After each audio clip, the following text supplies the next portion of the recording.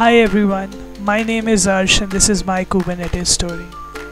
My journey started when I decided to learn more about Docker and Kubernetes in December of 2020. While learning, I wrote down everything I learned in my blogs. Jim read some of my blogs and offered me an internship at Nirmata.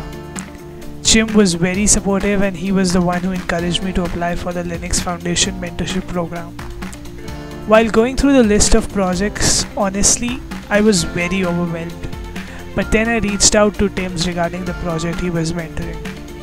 Dims was incredibly kind and made me feel so welcomed. From there, with his help, slowly everything started to fall in place by itself.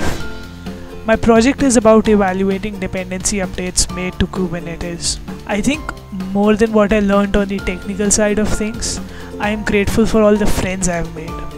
I've met some really amazing folk and it's truly a joy to be around them. To anyone who is getting started, my advice would be to just take that first step, drop that first message.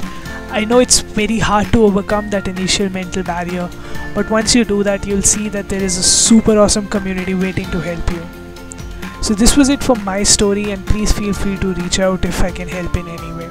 Thank you.